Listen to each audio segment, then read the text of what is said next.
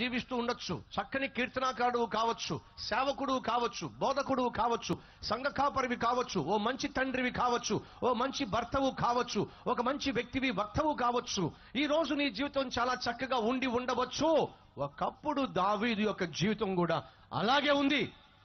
మరి అలా ఉన్నటువంటి దావీదు జీవితం ఎందుకని ఒకరోజు ఒక భయంకరమైన సంఘటన దావీదు జీవితంలో ఎందుకు చోటు చేసుకుంది? అసలు ఏం జరిగింది? చెప్తా జాగ్రత్తగా వినండి.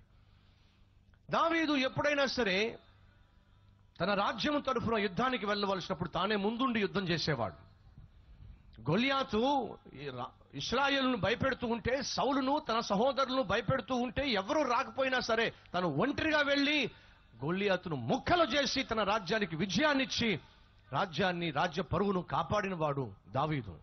అందుకే బైబిల్లో దావీదు గురించి అతడు యుద్ధంలో ప్రావీణ్యత గలవాడు. యుద్ధ వీరుడు యుద్ధ శూరుడు తన రాజ్యం కొరకు తన దేశం కొరకు ఎంతకైనా తెగిస్తాడు. ప్రాణాలు తెగించి తన దేశాన్ని కాపాడుకుంటాడు.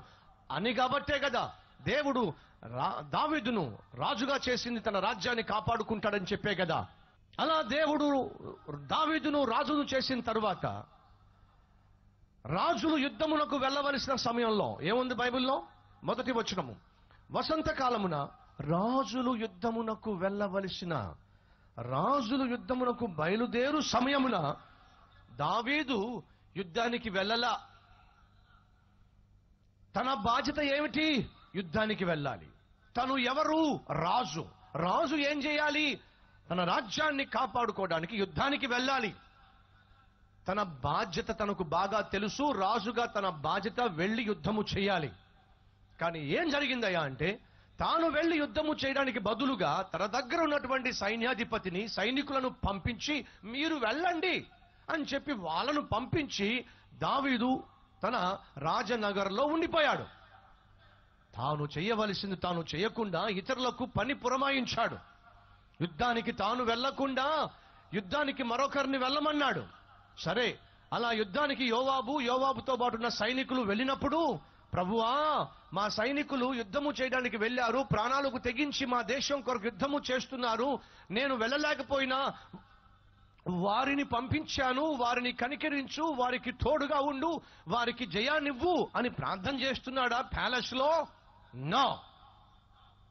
దావీదు కీర్తనలో ఒక ఒక చోట ఈ విధంగా అంటాడు నేను సాయంత్రము ఉదయము మధ్యాహ్నము నీకు నేను మొరపెట్టెదను అన్నాడు.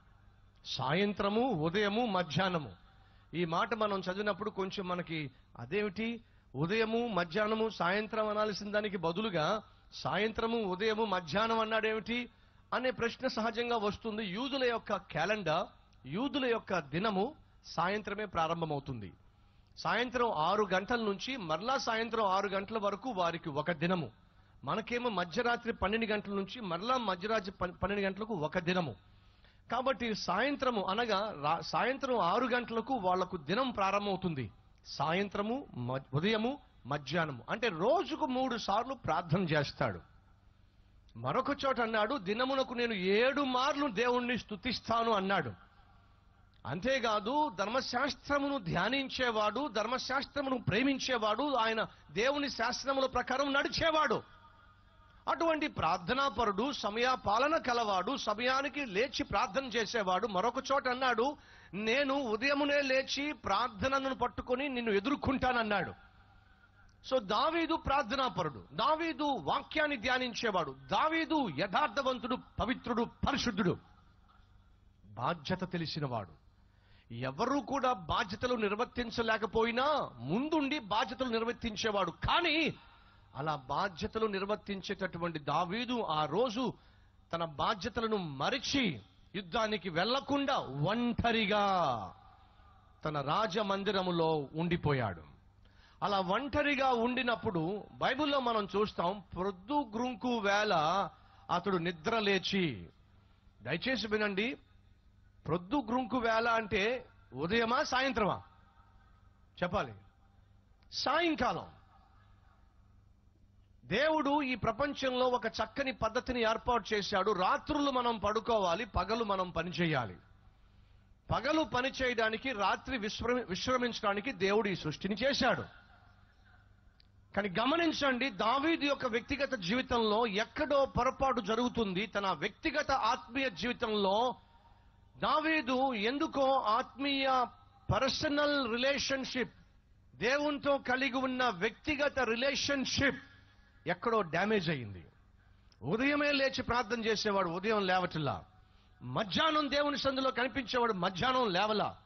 సాయంత్రం దేవుని సందులో కనిపించి ప్రార్థన చేసేవాడు సాయంత్రము దేవుని సంధికి వెళ్తల్లా.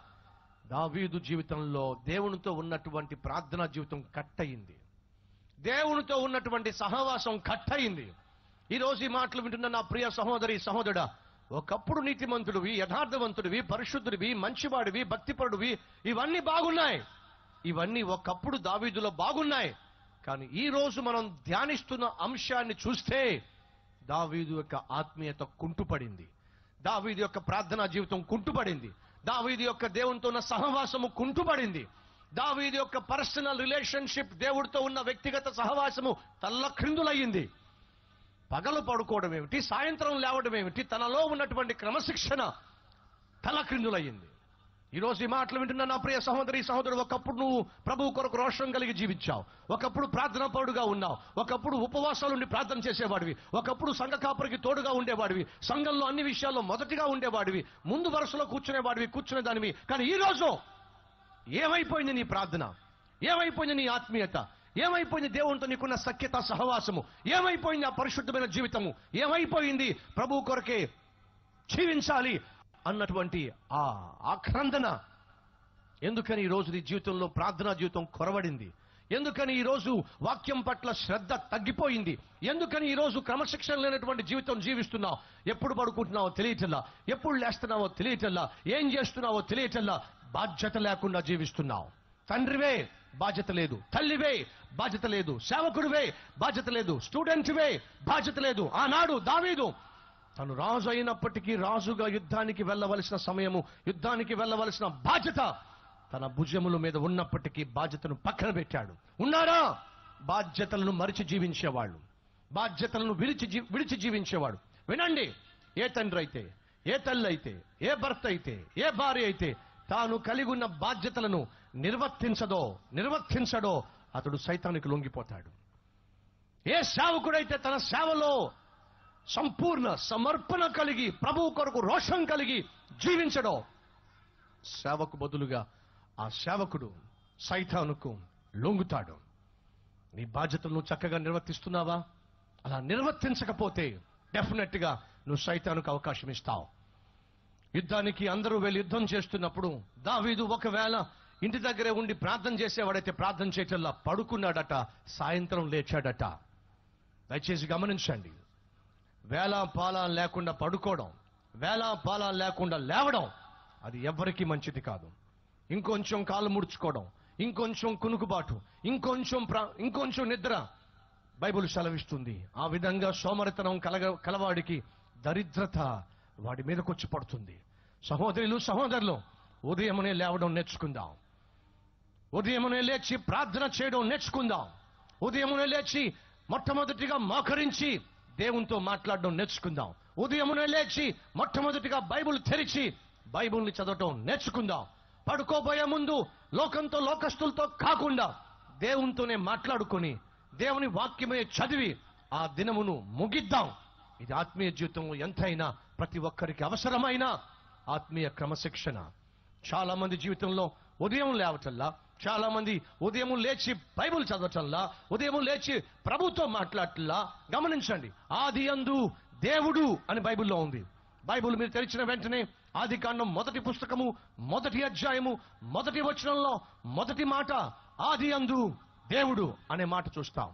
ఇంగ్లీష్లో ఇన్ ద బిగినింగ్ గాడ్ అద్భుతమైన మాట. ఇన్ ద బిగినింగ్ గాడ్ ప్రారంభము దేవుడితో. నీ దినము దేవుడితో ప్రారంభిస్తే నీ వంట పని ఇంటి పని దేవుడితో ప్రారంభిస్తే నీ వ్యాపారము దేవుడితో ప్రారంభిస్తే నీ ఉద్యోగము దేవుడితో ప్రారంభిస్తే నువ్వు చేసే ప్రతి పని ప్రయాణము దేవుడితో ప్రారంభిస్తే ఆ దినము దీవెనకరంగా ఉంటుంది. నీవు చేసే ఉద్యోగం దీవెనకరంగా ఉంటుంది. నీ వ్యాపారం దీవెనకరంగా ఉంటుంది. నీ ఇల్లు దీవెనకరమైన ఇల్లుగా మారిపోతుంది. ఏరి వాళ్ళు ఉదయమే లేచి దినమును దేవుడితో ప్రారంభించే వాళ్ళు ఏరి యోహాను సువార్త మొదటి అధ్యాయం మొదటి వచనంలో ఏముంది? ఆది అందు ఇప్పుడు చెప్పండి. ఆది అందు వాక్యం ఉండెను. ఆది కాండ మొదటి అధ్యాయం మొదటి వచనం ఆది అందు దేవుడు. యోహాను మొదటి మొదటి అధ్యాయం మొదటి వచనం ఆది అందు వాక్యము. అంటే అర్థం ఏమిటి? ఉదయమును లేచిన వెంటనే ఆ దినము యొక్క ప్రారంభము దేవుడితో ప్రారంభం కావాలి. ఆ తరువాత వాక్యముతో ప్రారంభం కావాలి. అనగా ప్రతి క్రైస్తవుడు ఉదయమునే లేచి మోకాల మీద పడి మీ నోటులోంచి మొట్టమొదటిగా రావలసిన పలుకో మొట్టమొదటి రావలసిన మాట యహోవా. నా ప్రభువా నా దేవా నీతోనే ఈ దినమును ప్రారంభిస్తున్నా. నీవు లేకుండా ఈ దినములో నేనేమీ సాధించలేను. నీవే నా సమస్తము నీవే నా సర్వస్వము నీవే నా శక్తి నీవే నాకు ఆధారము ఆశ్రయము. దేవునితో దినమును ప్రారంభిస్తే ఎంత బాగుంటుంది. దేవుని వాక్యముతో దినమును ప్రారంభిస్తే ఎంత బాగుంటుంది. అలాగే పడుకోబోయే ముందు దేవునితోనే మాట్లాడుకొని దేవునితోనే మన కష్ట సుఖాలు చెప్పుకొని లెక్కలు సెటిల్ చేసుకొని విశ్రమిస్తే ఎంత బాగుంటుంది. ఈ రోజు ఈ మాటలు వింటున్న నా ప్రియ సహోదరి నా ప్రియ సహోదరుడా కనీసం ఈ రోజైనా ఒక అద్భుతమైన తీర్మానం తీసుకుంటావా? ఉదయమేనే లేస్తాను లేచిన వెంటనే నేను మొట్టమొదటిగా మంచం మీద లేచిన వెంటనే నువ్వు చేయాల్సిన మొదటి పని మోకాల మీద పడు. ఉదయం లేచిన వెంటనే మోకాల మీద పడు. నువ్వు ఎవరివైనా సరే వెంటనే మోకరించు. నువ్వు డైరెక్ట్గా దేవుడితో మాట్లాడు. ఎందుకని? నీ దినము దేవుడితో ప్రారంభిస్తే ఆహా ఆ దినాన్ని దేవుడు బహుగా దీవిస్తాడు. దేవుని స్వరముతో దేవుని మాటతో దేవుని వాక్యముతో దినమును ప్రారంభిస్తే ఆ రోజంతా సైతం నీ దగ్గరకు రాకుండా కాపుదల భద్రతలో నువ్వు ఉంటావు అని ప్రభు పేరట మనవి చేస్తున్నావు. తల్లులు తండ్రులు ఉదయమునే లేచి మీ గృహ- గృహము చుట్టూ కంచి వేసుకోండి. మీ బిడల చుట్టూ కంచి వేయండి. అది ప్రతి ఒక్కరి బాధ్యత. ఉదయమునే లేచి తల్లిగా తండ్రిగా నీ ఇంటి చుట్టూ నీ కుటుంబం చుట్టూ నీ బిడల చుట్టూ కంచె వేసుకోవాల్సిన బాధ్యత నీకు ఉంది. యోబు గంధం మొదటి అధ్యాయంలో మనం చూస్తాము యోబు ఉదయమునే లేచి తన బిడ్డల కొరకు బలి అర్పణలు చేసేవాడు. అలా నిరంతరము చేస్తూ వచ్చేవాడు. తన బిడ్డల చుట్టూ కంచి వేసుకునేవాడు. సహోదరులు సహోదరులు ఉదయమునే లేచి నీ కుటుంబం చుట్టూ కంచి వేసుకుంటావా? దుష్టుడు దుర్మార్గుడు సైతాను వచ్చి నీ కుటుంబంలో సమాధానాన్ని నీ కుటుంబంలో నెమ్మదిని నీ కుటుంబంలో ప్రార్థనను నీ కుటుంబంలో ఆత్మీయతను యవ్వన బిడ్డల యొక్క భవిష్యత్తును పాడు చేయకుండా వారి మీద దాడి చేయకుండా ఉదయమునే లేచి మీ బిడ్డల చుట్టూ కంచి వేసుకుంటారా? యవన ప్రాయంలో యవన ఇచ్ఛలకు లొంగిపోకుండా యవన కోరికలకు యవనస్తుల యొక్క తొందరలకు శరీర ఇచ్ఛలకు బలి కాకుండా బందీ కాకుండా నా తల్లి ప్రార్థన నా తండ్రి ప్రార్థన నన్ను కాపాడుతుంది నన్ను సంరక్షిస్తుంది కాబట్టే యవన ప్రాయంలో నేను పాడైపోకుండా పతనం అయిపోకుండా బహుజాగ్రత్తగా నేను జీవిస్తున్నాను అని నీ కుమార్తె నీ కుమారుడు నిన్ను గూర్చిట్టి సాక్ష్యం చెప్పగలదా అడుగుతున్నా. ప్రతి తండ్రి ప్రతి తల్లి ఎప్పుడు పడితే అప్పుడు పడుకోవడం ఎప్పుడు పడితే అప్పుడు లేవడం బాధ్యత లేకుండా నువ్వు జీవిస్తే నీ పిల్లలు నాశనం అయిపోతారు. ఆనాడు దావీదు ఆత్మీయుడిగా ఉన్నాడు ప్రార్థనాపరుడుగా ఉన్నాడు ధర్మశాస్త్రం ధ్యానించేవాడిగా ఉన్నాడు. ఏమైందో ఏమో? ఆత్మీయ జీవితంలో నూలివెచ్చని స్థితికి చేరిపోయాడు. ప్రార్థన కరువైపోయింది. దేవుని పట్ల భయము కరువైపోయింది. రాత్రంతా ఏం చేశాడో? డే అంతా పడుకున్నాడు. సాయంత్రం లేచాడు. ఎక్సెంట్రిక్. తన ఆత్మీయ జీవితం ఎక్సెంట్రిక్ అయింది ఆత్మీయ జీవితం తల్లక్రిందులయ్యింది ఈ రోజు నీ ఆత్మీయ జీవితం ఎలా ఉంది? కండిషన్లోనే ఉందా? నీ ఆత్మీయత నీ భక్తి దేవునితో ఉన్న సహవాసము ప్రార్థనా జీవితము వాక్యం పట్ల శ్రద్ధ కండిషన్లో ఉందా? లేదా కండిషన్ పాడైందా? ఒకవేళ నీవు ఆత్మీయ జీవితంలో పాడైన కండిషన్లో ఉంటే పతనమైన కండిషన్లో ఉంటే జాగ్రత్త! అదే సమయంలో సైతాన్ నీ మీద దాడి చేస్తాడు నీ జీవితాన్ని కిందకు ఇడ్చేస్తాడు ఏం జరిగింది? ఒంటరిగా మిద్ది పైన తిరుగుతూ ఉన్నాడు తిరుగుతూ ఉన్నాడు. జాగ్రత్తగా వినండి. సైతాను ఎవడి మీదైనా దాడి చేయాలంటే సైతాను ఎవరినైనా పాడు చేయాలంటే వాడు వెతికేటటువంటి అనుకూలమైన సమయము ఏదైనా ఉంది అంటే ఒంటరిగా నువ్వు ఎప్పుడు దొరుకుతావా అని ఎదురు చూస్తాడు. వింటున్నారా? ఆనాడు అవ్వ సైతానుకు ఒంటరిగా దొరికింది. ఏం చేసింది? మాయ మాటలు చెప్పి తినకూడని పండు తినిపించేసింది. మనందరికీ మరణాన్ని బహుమానంగా ఇచ్చింది. ఆనాడు సంసోను తిమ్నాతుకు వెళ్తూ ఒంటరిగా యవ్వన ప్రాయంలో ఒంటరిగా వెళ్తున్నప్పుడు ఒక అందమైన అమ్మాయి కళ్ళ ముందుకు వచ్చింది ఒంటరిగా ఉన్నప్పుడే కదా సైతాను ఒక అమ్మాయిని తీసుకొచ్చి సంసోనుకు చూపించాడు. ఒంటరిగా ఉన్నప్పుడే కదా దావీదుకు సాతాను స్నానం చేస్తున్న అమ్మాయిను చూపించాడు. ఒంటరిగా ఉన్నప్పుడే అవ్వ పతనమైంది. ఒంటరిగా ఉన్నప్పుడే సంసోను పతనమయ్యాడు. ఒంటరిగా ఉన్నప్పుడే గెహజీ పాపిష్టి సంపాదన కోసం పరుగులు తీశాడు. ఒంటరిగా ఉన్నప్పుడే దావీదు కూడా చూడకూడని వాటిని చూసే ప్రయత్నం చేశాడు. ఈరోజు ఈ మాటలు వింటున్న నా ప్రియ సహోదరుడ సహోదరి ఒక అద్భుతమైన సత్యాన్ని చెప్తాను. జాగ్రత్తగా ఉండు. నువ్వు ఒంటరిగా ఉన్నావా? ఖాళీగా ఉండమాకు. నువ్వు ఖాళీగా ఉన్నావా? ఒంటరిగా ఉండమాకు. అర్థమైందా ఏమైనా అర్థమైందా? నువ్వు ఒంటరిగా ఉన్నావా? ఖాళీగా ఉండమాకు. ప్రార్థన చేయి. వాక్యాన్ని ధ్యానించు. ఎవరితోనైనా యేసుక్రీస్తు గురించి మాట్లాడు. నీ సాక్ష్యాన్ని పంచుకో. దేవుణ్ణి స్తుతించు ప్రార్థించు. లేదా టీవీలో ఒక మంచి వర్తమానాన్ని విను. ఒక మంచి పుస్తకము చదువు. ఒంటరిగా ఉన్నావా తమ్ముడు? ఒంటరిగా ఉన్నావా చెల్లె? నువ్వు ఖాళీగా ఉండమాకు. ఖాళీగా ఉండమాకు. ఖాళీ హృదయమే ఖాళీ జీవితమే సైతాను వాడుకోవడానికి అనుకూలమైన జీవితము. ఒంటరిగా ఉన్న సేవక ఒంటరిగా ఉన్నప్పుడు జాగ్రత్త. ఒంటరిగా ఉన్నావా? ఖాళీగా ఉండద్దు. ఖాళీగా ఉన్నావా? ఏ పని లేకుండా ఉన్నావా? ఒంటరిగా పొరపాటును కూడా ఉండే ప్రయత్నం చేయి మాకు. ఖాళీగా సమయం ఉంటే నువ్వు మందిరానికి వెళ్ళు. మందిరాన్ని ఊడు. ఖాళీగా సమయం ఉంటే మందిరానికి వెళ్ళు. వెళ్ళి మోకరించి ప్రార్థన చేయి. ఖాళీగా ఉంటే ఒక మంచి పుస్తకం తీసుకో. దాన్ని చదువు. ఖాళీగా ఉంటే పొలంలోకి వెళ్ళి ప్రార్థన చేయి. దయచేసి వినండి. పన్నెండు సంవత్సరాల వయసులో ప్రభు నా జీవితాన్ని దర్శించాడు. పన్నెండు సంవత్సరాల వయసులో ఈ పాపిష్టి కుర్రవాడిని ప్రభువు మార్చాడు. స్కూల్లో చదువుకుంటున్న రోజుల్లో స్కూలుకి వెళ్ళేవాడిని చదువుకునేవాడిని ఇంటికి వచ్చేవాడిని పొలానికి వెళ్ళేవాడిని బైబుల్ తీసుకెళ్ళేవాడిని మోకాల మీద పడేవాడిని ఖాళీగా ఉన్నప్పుడు ప్రార్థన చేసేవాడిని ఖాళీగా ఉన్నప్పుడు బైబుల్ చదివేవాడిని కాలేజీలో జాయిన్ అయిన తర్వాత సాయంత్రం కాలేజ్ అయిపోయినప్పుడు ప్రతిరోజు కనీసం నాలుగు గంటల నుంచి ఐదు గంటల సేపు బైబుల్ చదవటానికి ప్రార్థన చేయడానికి కాలేజీలో ఉన్న రోజుల్లో ఆ సమయాన్ని కేటాయించేవాడిని. సాటర్డే హాఫ్ డే వస్తే ఖాళీ ఉంటే వెంటనే పాస్టర్ గారి దగ్గరికి వెళ్ళిపోయేవాడిని. పాస్టర్ గారికి సేవలో సహకరించేవాడిని. ఆయనతో పాటు కరపత్రాలు పంచేవాడిని. ఆయనతో పాటు రోడ్ల మీద శుభార్త ప్రకటించేవాడిని. ఖాళీగా ఉన్నప్పుడు టైం టేబుల్ పెట్టుకునేవాడిని. ఈ రోజు ఏడు గంటలన్నా ప్రార్థన చేయాలి. ఆరు గంటలన్నా ప్రార్థన చేయాలి. బైబుల్ ధ్యానించాలి. ఖాళీగా ఉన్నప్పుడు ప్రభు సన్నిధిలో గడపడానికి యవ్వనం ప్రాయంలో నాకు అట్టి కృప దేవుడిచ్చాడు. ఈరోజు ఈ మాటలు వింటున్న నా ప్రియ సహోదరి నా ప్రియ సహోదరుడా అడుగుతున్నా నీ ఖాళీ సమయాన్ని ఎలా గడుపుతున్నావు? ఖాళీగా నువ్వు ఉన్నట్లయితే సైతానుకు అనుకూలమైన వాతావరణాన్ని ఇస్తావు. దావీదు ఖాళీగా ఉన్నాడు. ఒంటరిగా ఉన్నాడు. ఒంటరిగా ఉన్నాడు. ఖాళీగా ఉన్నాడు. ఏం జరిగింది? పైన తిరుగుతున్నాడు. చక్కర్లు కొడుతున్నాడు. పైనుంచి కిందకు చూశాడు. స్నానం చేస్తూ ఒక స్త్రీ కనిపించింది. బైబిల్లో ధర్మశాస్త్రం ఏం సెలవిస్తుంది? ఒకడు పరాయి స్త్రీ యొక్క నగ్నత్వాన్ని చూడడము తప్పో.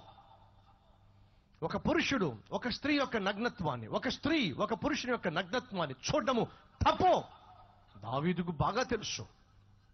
నగ్నంగా ఉన్న స్త్రీని చూడడము ధర్మశాస్త్ర ప్రకారము తపో ధర్మశాస్త్రం బహుగా తెలిసినవాడు ధర్మశాస్త్రాన్ని బహుగా ధ్యానించినవాడు. తనకు తెలుసు నగ్నంగా ఉన్న స్త్రీని చూడకూడదని చెప్పి. తెలుసు! అయినా ఎందుకో? ఎందుకు? ప్రార్థనా జీవితం కొరబడింది. ఆత్మీయ జీవితంలో క్రమశిక్షణ తప్పిపోయింది. కాబట్టే కదా!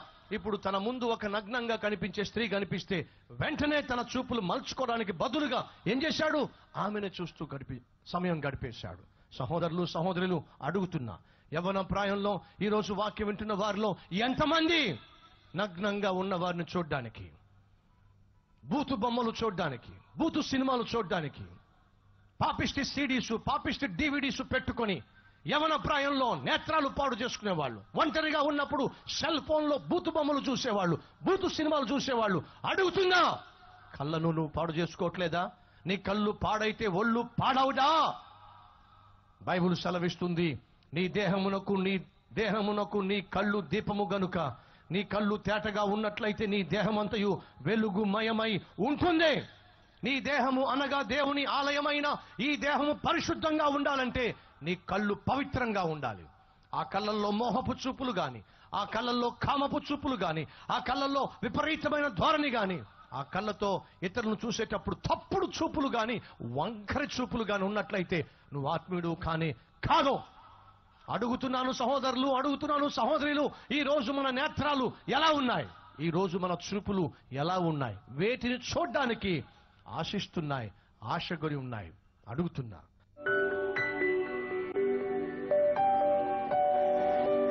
మహాపరిశుద్ధుడైన ప్రేమ కలిగిన తండ్రి రాత్రి బహుసూటిగా బహుస్పష్టంగాను అనేక విషయాలు మాతో మాట్లాడావు. దావీదు మామూలు వ్యక్తి కాదు. ఓ ఆత్మీయుడు ఓ నీతిమంతుడు ఓ యథార్థవంతుడు ఓ యుద్ధ వీరుడు యుద్ధ శూరుడు పరిశుద్ధుడు యెహోవా హృదయానుసారుడు. కానీ యుద్ధము చేయవలసిన తాను యుద్ధము చేయకుండా ఒంటరిగా ఉంటే ఎంత ప్రమాదమో గ్రహించలేకపోయాడు. సేవ చేయవలసిన సేవకుడు సేవే చేయాలి. ఉద్యోగం చేయవలసిన భర్త ఉద్యోగమే చేయాలి. ఇంటి పని వంట పని చేయవలసిన భార్య ఇంటి పని వంట పని చక్కగా చేసుకుని తన ఇల్లు కట్టుకోవాలి. చదువుకోవాల్సిన తమ్ముడు చదివి చదువుకోవాల్సిన చెల్లి చదువుకోవాలి. ఎవరు ఏ పని చేయాలో ఆ పని చక్కగా చేసుకున్నట్లయితే పాపము చేయడానికి సాధారణంగా అవకాశము ఉండదు. ఖాళీగా ఉన్నప్పుడు ఒంటరిగా ఉండకూడదని ఒంటరిగా ఉన్నప్పుడు ఖాళీగా ఉండకూడదని అలా ఉంటే ఏమవుతుందో దావిదు ద్వారా బహుసూటిగా మాకు తెలియచేశావు నాయన. స్తోత్రాలు. ఆత్మీయ జీవితంలో నులిబెచ్చగా ఉన్నప్పుడు ఆత్మీయ జీవితంలో బలహీనంగా ఉన్నప్పుడు మేము జాగ్రత్త పడకపోతే సైతాను ఏం చేస్తాడో దావీదు జీవితం ద్వారా మీరు మాకు నేర్పించారు. అయ్యా ఎందరైతే ఈ రాత్రి ప్రార్థనా జీవితాన్ని వాక్యం పట్ల శ్రద్ధను ఆత్మీయత నిర్లక్ష్యపరిచే వైఖరిని కలిగి ఉన్నారో వారి జీవితం పూర్తిగా పతనం కాకుండా వారు పూర్తిగా నాశనం కాకుండా క్షమించి వారి జీవితాలను నూతనపరిచి నీకు సాక్షులుగా ఇక నుంచైనా వెనక్కి తిరిగి చూడకుండా పవిత్రముగా జీవించే భాగ్యాన్ని ఇవ్వమని యేసు నామములో వేడుకుంటున్నాం తండ్రి. ఆమెన్.